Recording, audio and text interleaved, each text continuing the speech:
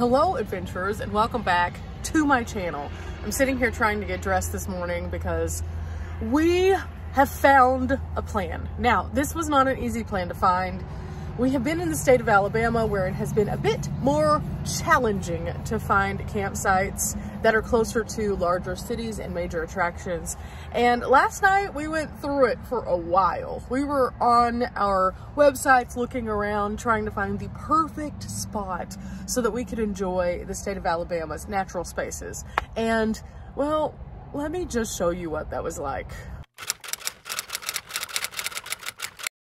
We're sitting in Riley's car tonight and we're trying to figure out our next moves and it is not great. So we're looking through and we found this national forest, which is close to a place that we want to go. It's the Bankhead National Forest. And we were thinking about staying at an actual campsite in there so that we could make sure that we are in the right because they have some strange rules.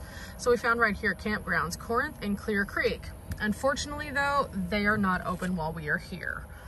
Ugh! Alabama, we're trying to give you money and it's just making it real, real hard. The wild part about this is we have been trying literally all night to figure out what we're gonna do here in Alabama. And with their regulations on where you can sleep, it makes it a little bit harder. So you most likely need to get a paid campsite, which is fine. We're trying to do that. But to stay at a state park, which we would go to for like one day, it's like 50 something dollars. But the problem is, every site that we have gone to is requiring us to book two nights, which means that to stay at a state park, which we only spend one day in, we're gonna have to spend two nights there. So the math is not mathing too well. So Cracker Barrel's been our best friend so far, and we've picked out another Cracker Barrel for our next stay. And oh my gosh, I just want to spend some money here. I just want to show you guys a good time. I just want to see the beauty because this state has a lot of beautiful things, but it's really hard when you're a fast-paced mover to actually find something. And free campsites are kind of difficult. In fact, we were looking up some iOverlander things and let me just show you. In theory, this looks like a lot of places, right? There's dots everywhere. But when you start actually zooming in on the areas that we're gonna be going to, one of them is in this area over here. And as you get closer and closer and you see, for example, this Gadsden area where there's a falls that we want to go to, which interestingly enough does have camping, but it's currently closed. We go up here to this one and it says here, killer campground with all the amenities. Cool, but when you look at when it was last reviewed even, it's not super close to that time. So the reviews in Alabama are kind of outdated. It's kind of hard to find any that are more recent. And so we were looking at some of these other spots. And this one right here said that they stopped for a night in their mini camper two months ago. Well, when I looked up this site, it actually said it's a paid campsite. It's not a free campsite, which again, okay, cool. But then the more that you start diving into these, the more that you realize that in comparison to some place like, mm, let's go over here to the west, where there's tons of free campsites, and we know that, um, you'll notice that these numbers are much higher. There's orange and yellow, and so as you're zooming in, there's literally dozens upon dozens upon dozens of campsites. But in these areas, again, over here in the Alabama area, it's mostly green because there's not that many of them. What does that mean when we're planning a camp? It makes it real hard because since there's not as many, that means more people are trying to look for those. And we've noticed a lot less camper vans here. In fact, with the exception of the place that we went to at the Ironworks where it was a very packed campground. We've noticed that there haven't been as many people even on the roadways through this area. And I would like to think that people are recreating here because clearly the campgrounds are packing out. But it's not been the most van friendly. We'll just put it that way. We also noticed on their state parks that they don't allow a van of any kind to stay in a primitive site. Now, whenever I go to Missouri, I stay in primitive sites all the time because I don't need any amenities. All I need is a good toilet that I can go and walk out to use. But the primitive campsites here, even with the regular amenities that are at other places, they say, nope, you can't stay there. You have to be in a physical tent. That has also changed since the last time I came to Alabama when I actually was in a tent. So that's kind of fascinating. So Riley and I are just trying to figure this out. And unfortunately, it is frustrating. At the same time, Cracker Barrel, with the exception of the one in Tuscaloosa, has so far been friendly with to us. So, yeah. I have all these great suggestions from people, so many great suggestions, but I don't know, maybe it's just me and I am being a little weird, but I don't see the point in paying $100 for a campsite. I just don't. I'm not going to do that. I've stayed too many places that are absolutely amazing that have not been $100 for two nights. And I'm not opposed, again, to paying for campsites. But I think that there is a difference between paying for campsites that are worth it and not. And we just saw at the Ironworks, the sites were $25 a piece. And in doing so, you had water and full connections for $25. So if they can do that, then there's no reason why a state park can't do that in this area either.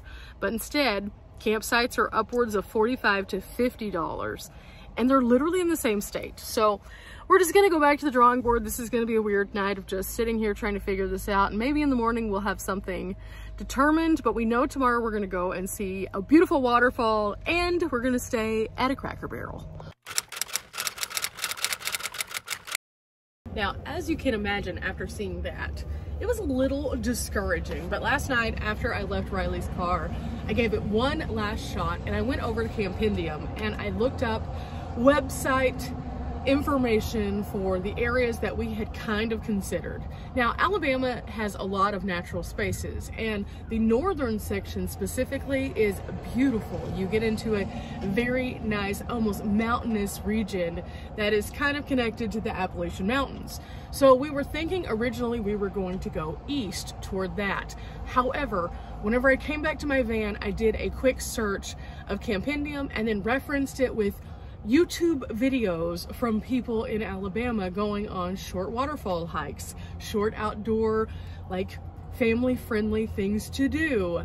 And I found a region that previously we had seen a few campsites, but when we expanded upon it, there wasn't a lot of information.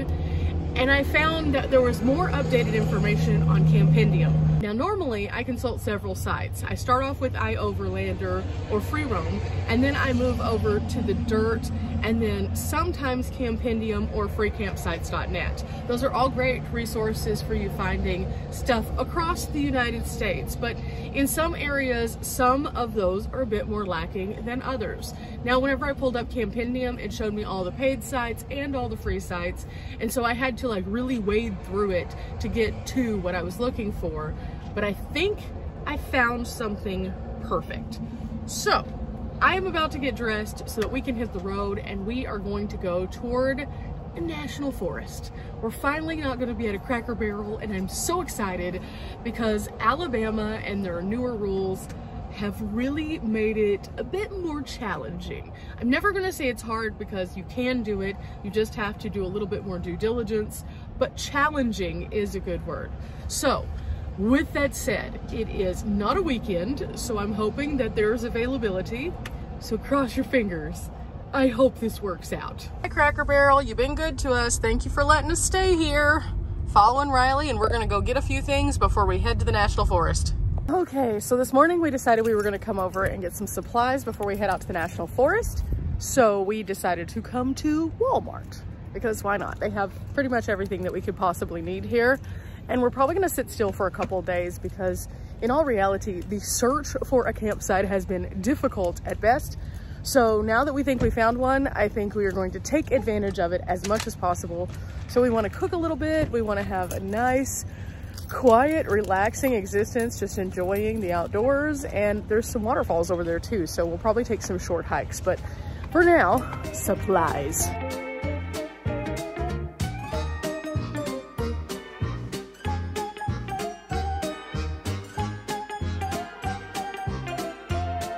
Okay, went ahead and just put the things we just picked up at the grocery store inside my fridge.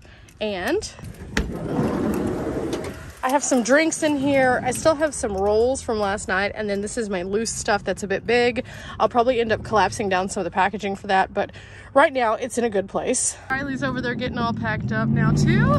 Now it's time to get in the van and figure out where we're going. So while Riley is finishing up, I am going to locate our campsite and try to get a map pulled up and make sure it's going to be a doable option. Time to get ready to get a bit closer. I think there are two campsites that I found that had really good reviews. I think one of them is free and then one of them is paid. So I'm gonna look at both of them to see which one I prefer. I don't even mind paying for a campsite. I've said that hundreds of times on my channel. I'll pay for something as long as it's decent, but if there is a free option, that's always a nice one to explore also, but it really is about finding the place that's going to give us the most retreat at this point after being on the road as long as we have been already without really having that super peaceful just relaxing stop. I go really fast when i travel on the road and that's not for everybody. A lot of people like to sit still. That has never been my journey. My journey has always been about movement. So whenever i get out and i'm starting to travel I like to see a lot of different things. But the problem with that sometimes is that it comes at the cost of going through larger cities that aren't always great for beautiful, amazing campsites, and that's okay. But I think that I am long overdue a little bit of a retreat from this and it's supposed to be warm over the next couple days so it would be nice to just be able to have a comfortable place near some waterfalls possibly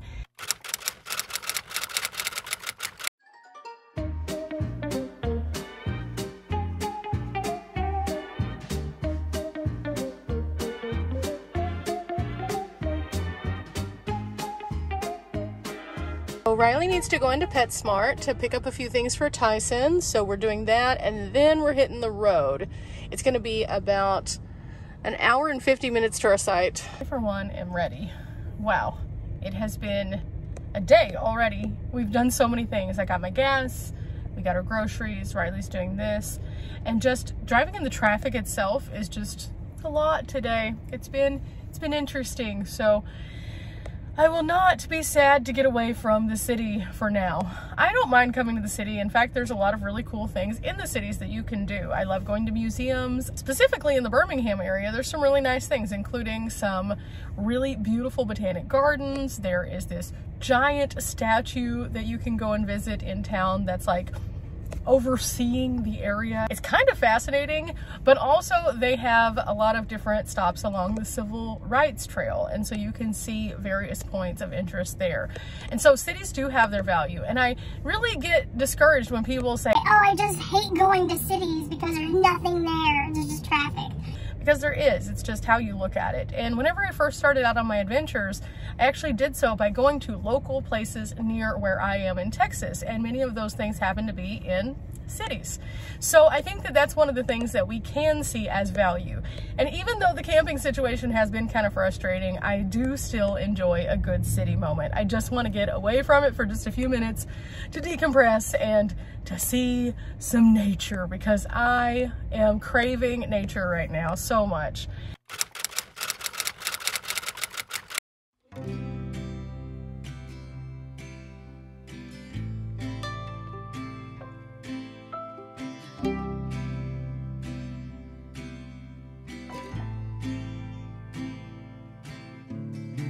Harder to see right now, but it is definitely hazy. There's some smoke in this area. Not sure what's happening. Definitely smells like fire right over there though. And that's where it's coming from. So I'm not sure if it's a prescribed fire or if something bad is happening. But we're gonna keep our eye on this as we're driving. We turned off and we're going toward our location and we have once again found the haziness. It's a little harder to see again on camera, but it is very noticeably hazy in this area. And it wasn't when we first turned down this road. So we're going toward it. I think it's kind of off to the left. So I'm hoping that it's not like some kind of prescribed fire or something like that. That would not be bueno. I didn't see any warnings when I looked up his site, but you never know until you get to an area, but I do have a backup site just in case. So cross your fingers, guys. The area has been hilly, it's been nice. It has been very pleasant to come out to this area. After we got out of the city, it was just immediately much more calm. The roads through Birmingham were crazy though, super chaotic. And oh wow, um, it was just a lot. It was a lot. Everyone drives about 15 to 20 over the speed limit, which I didn't think was a thing, but I was getting pushed. And even if I would try to be not going over the speed limit, people would literally surround you and push you. And that was unsettling because once you start going over the speed limit with the box, you start rattling a little bit. no, no, no ma'am Pam. Not my not my cup of tea there. But we're only about 15 miles away, so I'm hoping this turns out. In the meantime though, it's been a pleasant departure. Some interesting old buildings like that one, a few homes, lots of woods. And through here you can see it is a bit more hazy. Okay, as we're going through here, it looks as though this was probably a prescribed burn because you can see the ground looks a little like it has more recently been burned off. So they probably are wrapping this up, which is why there's still smoke. So we're gonna go ahead and check out this campsite. If it's really smoky and bad, we'll go to the other one, but we'll see. Otherwise, it's a beautiful drive down here.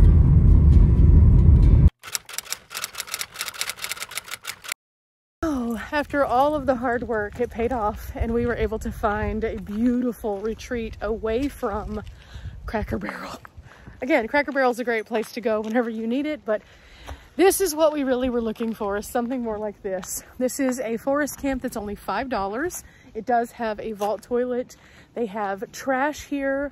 They have picnic tables, fire rings, and lots of space to spread out.